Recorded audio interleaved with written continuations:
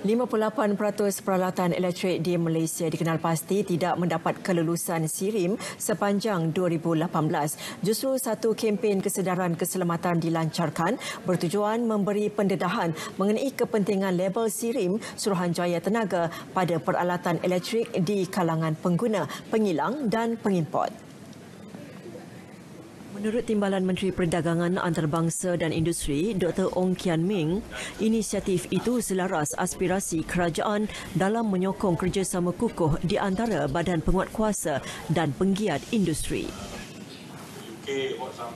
Because of the uh, importation of certain products uh, that uh, don't don't fit with the Malaysian standards, uh, especially online importation, because now e-commerce is uh, quite popular among many many people and sometimes uh, price point also becomes a consideration. So what we're saying is that don't only look at the price tapi mesti menilai dari segi keselamatan juga Beliau ditemui media selepas majlis pelancaran kempen kesedaran keselamatan di ibu negara.